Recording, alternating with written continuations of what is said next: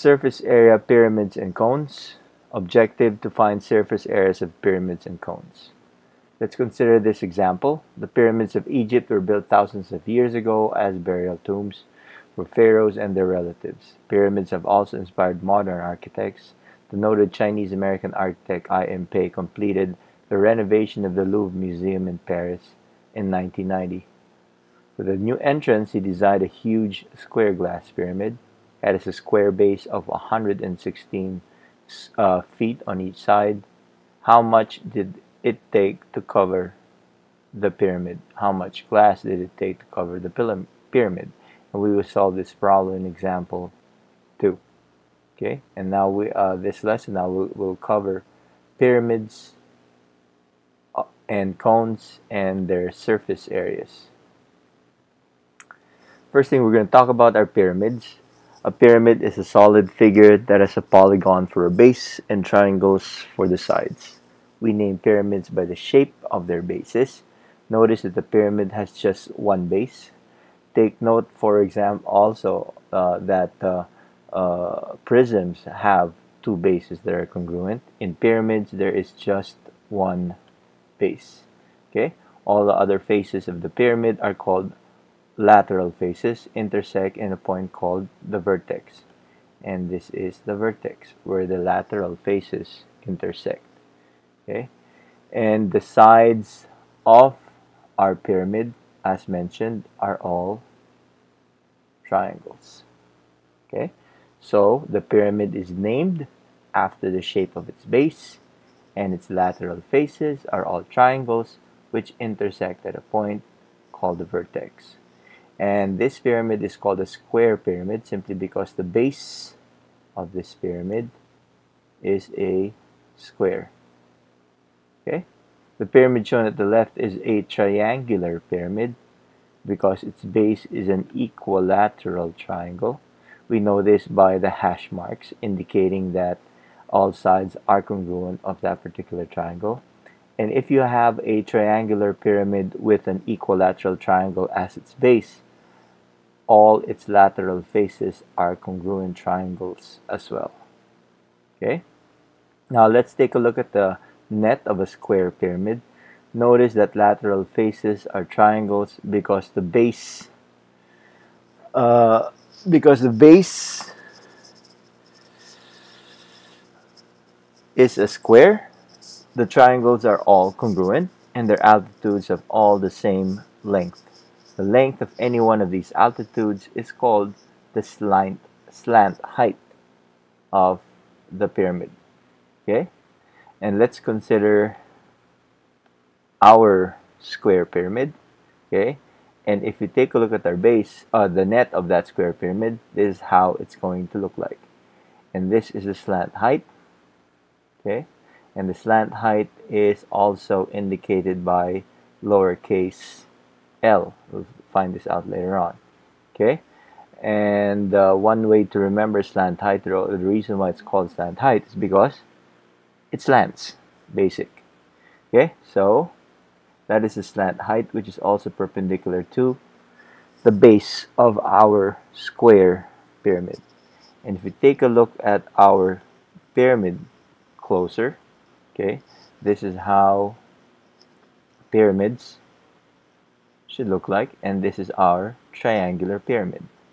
And if you look at our triangular pyramid this is the net of our triangular pyramid.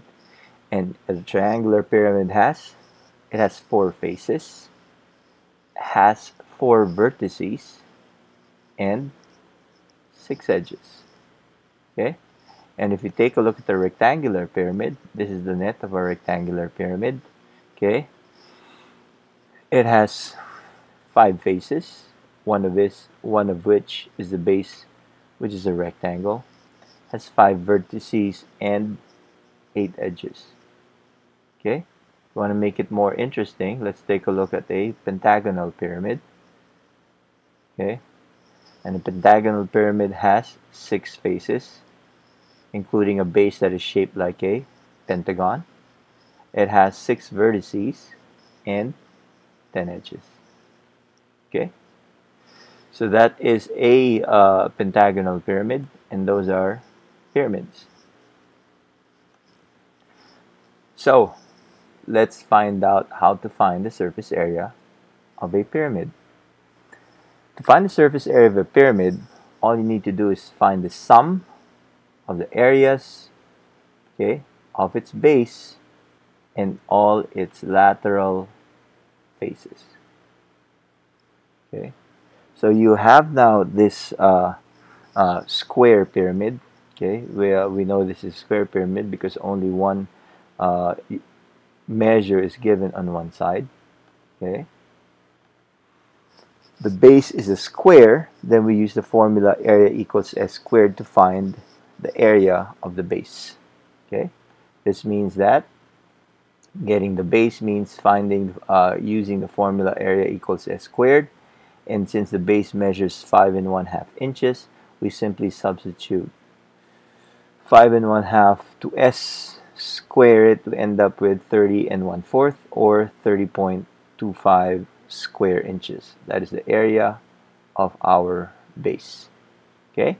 Next our next job is to find the area of the lateral surfaces. Okay? So we use the formula for uh, find the area of the lateral surface which is 1 half base times height because the lateral surface measures or sorry the lateral surface is a triangle. So 1 half base times height is the formula for finding the area of a triangle. Okay? And if we look very closely our base is still 5 and 1 half inches and our slant height now is 6 inches okay? So uh, you have your triangular side which is area equals 1 half base times height. Substitute the value 5 1 1 half for our base and slant height which is all 6 inches. Multiply all those together we end up with 16 and a half or 16.5 square inches. What is left for us to do now is find uh, simply add the area of the base which is 30.25 right there add the area of uh, the triangular side which is 14 uh, 16.5 multiplied by 4 why do we need to multiply it by 4 because there are four lateral faces whose areas are 16 uh, whose area is 16.5 square inches. Then we add all of them, we end up with the total surface area of our square pyramid as 96.25 square inches. Okay. So let's take a look and go back at the beginning of the lesson and uh, when we talked about the Louvre Museum, okay, we need to find the surface area of the glass air, uh, where the glass is located on the Louvre Museum obviously we will not be looking at the base because uh, there's no glass at the base of the museum so all we need to find are the lateral uh, uh, area or the lateral surfaces and their areas okay? The sum of their areas. So the Louvre pyramid in the application in the beginning has a slant height of 92 uh, feet. Square base is 116 feet, find the amount of glass it took to cover the pyramid. Okay, so what we do is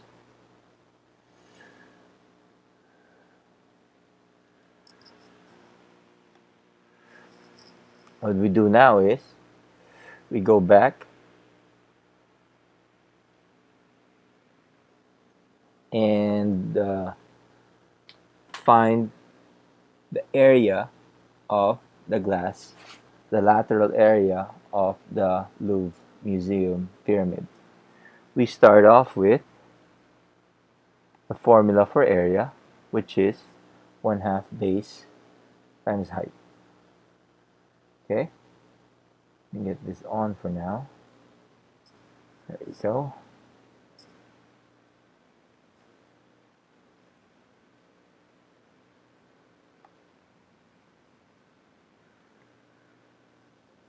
So area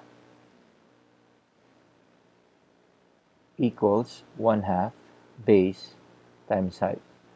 That is the shape because the shape of the lateral face the pyramid is a triangle okay going back to our uh, original problem of the Louvre Museum okay the base is equal to 116 feet and the height or the slant height is equal to 92 feet.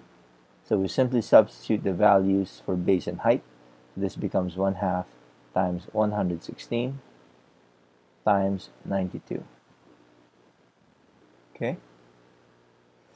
Simplifying everything we end up with 5,336 square feet. And that is the area for one lateral surface. Since there are four of them we simply get 5,336 and multiply it by 4 okay? So the total glass to cover the pyramid is 21,344 square feet. That's how much glass it took to cover the Louvre Museum pyramid. Okay?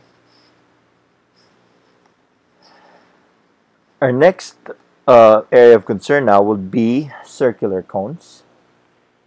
And there are a, a lot of uh, different types of uh, cones.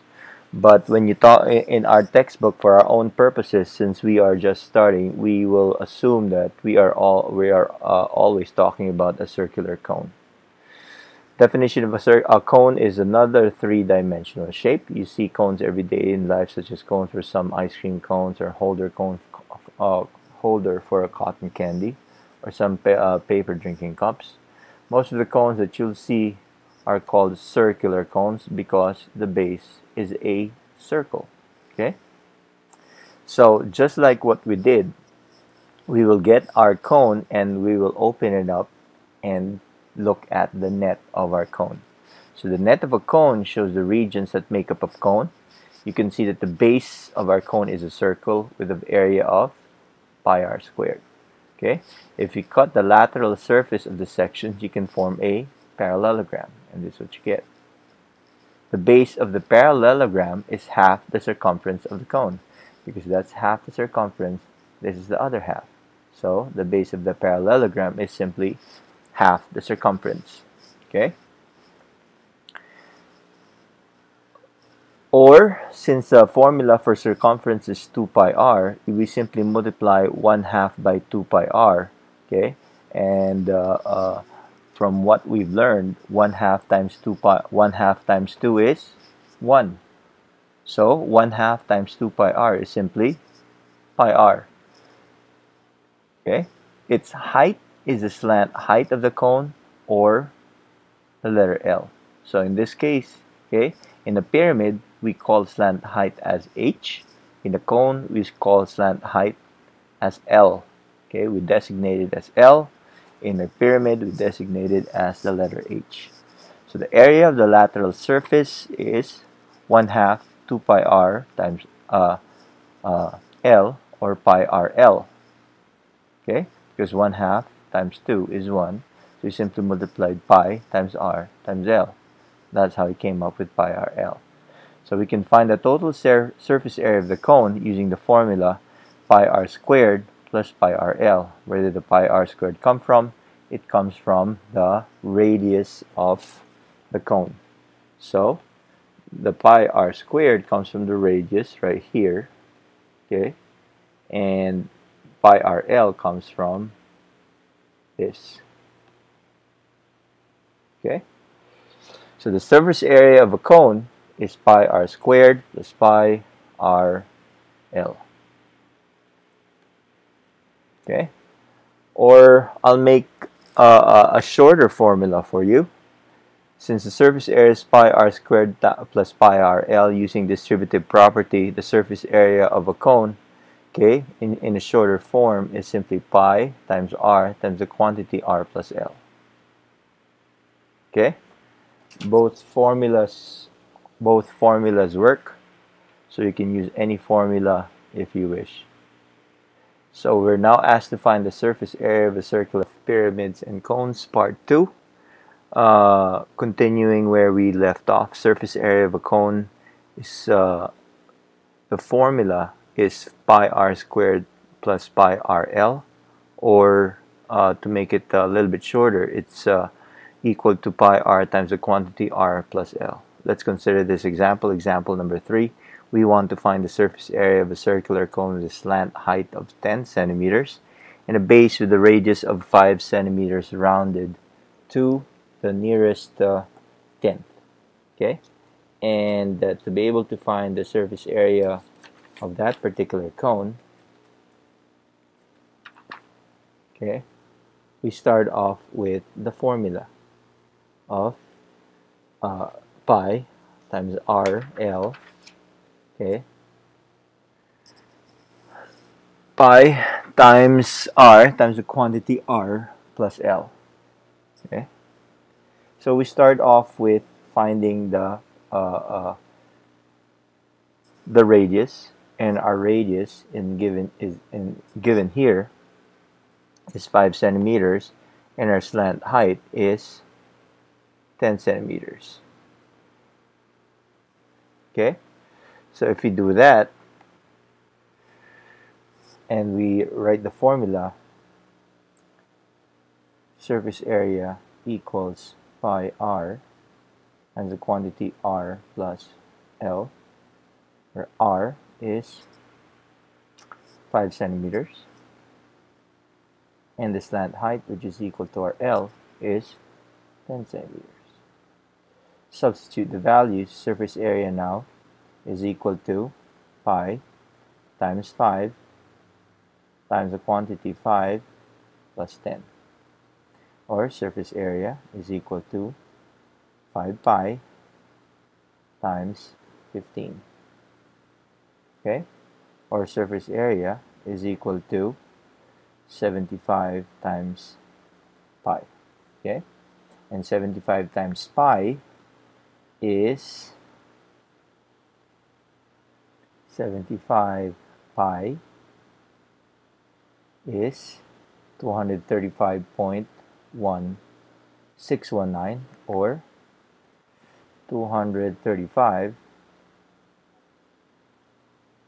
235.6 square centimeters.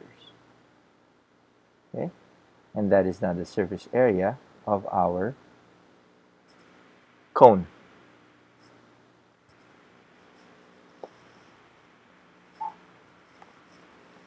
And uh, after listening to this lesson, you are now required in your notebook, in no more than a page, write or type a summary of what you've learned responding to the objective of the lesson, meaning you need to write down how to find the area of a pyramid and how to find the area of a cone in your own words.